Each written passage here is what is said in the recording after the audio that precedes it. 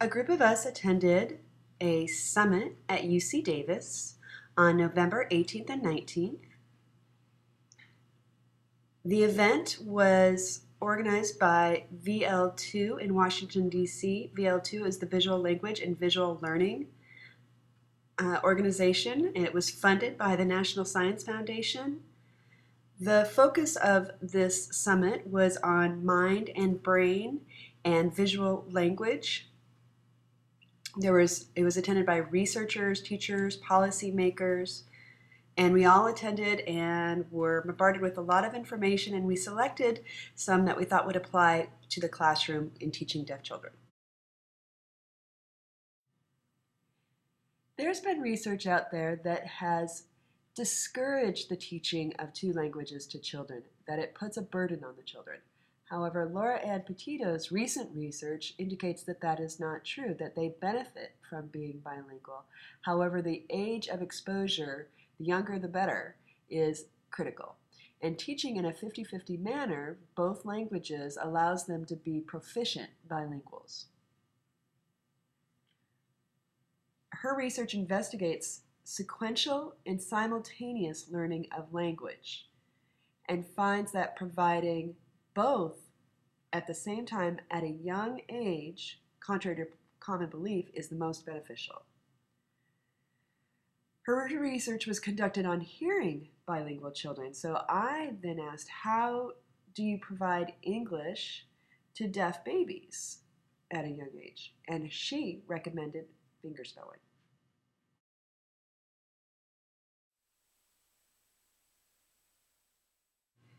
One presenter, Dr. Brooks, investigated eye gaze regarding social understanding.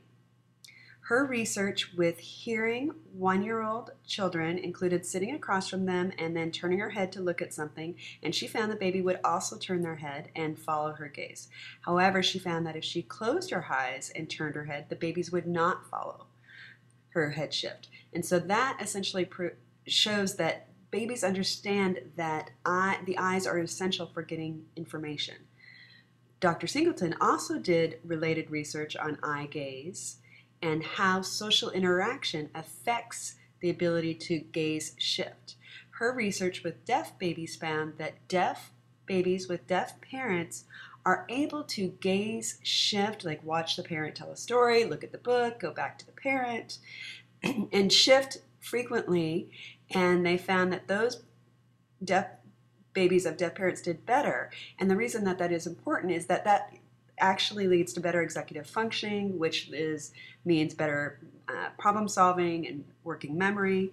Dr. Peter Hauser also did research on executive function, and his research showed that those who are bilingual do better in gathering information, eliminating information, and in the end. So bilinguals essentially have better executive function. When you're signing ASL, what does your brain look like? It, ASL activates the right and left parts of the brain. However, when you're reading, it activates the left anterior frontal cortex, as does finger spelling activates the same area.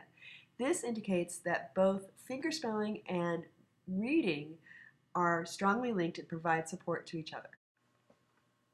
It's fascinating. Does fingerspelling and print reading have a connection? So there's been research and experiments done, and they found that there's two groups, orthography and phonology. The orthographic approach splits the word into letters to become a word. So it's split based on the structure. So for example, thunder is broken down into thund, er, to come up with thunder. And the phonological way is based on sound. Thun, der. So do the deaf and hearing do it the same way? We don't know. But with research, it's found that the deaf actually process it the same way as hearing people do when they read. So deaf people prefer to use the orthographic way for reading, for thund, er, to make those connections, whereas for fingerspelling, the deaf people tend to prefer the phonological approach, for thun, der, for fingerspelling. So there is the strong connection between visual language and fingerspelling in learning to read for deaf children. All along, research out in the field really isn't connected to the classroom. So at the Summit convention, it's been recognized, so they asked for a panel.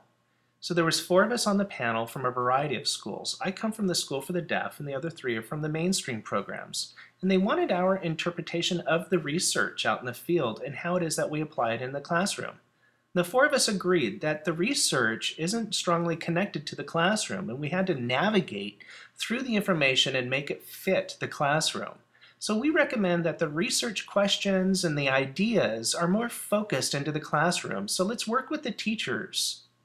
And they seem to be accepted, accepting that idea. So you've been watching the different summaries. If you are interested in more information, go ahead and approach these individuals.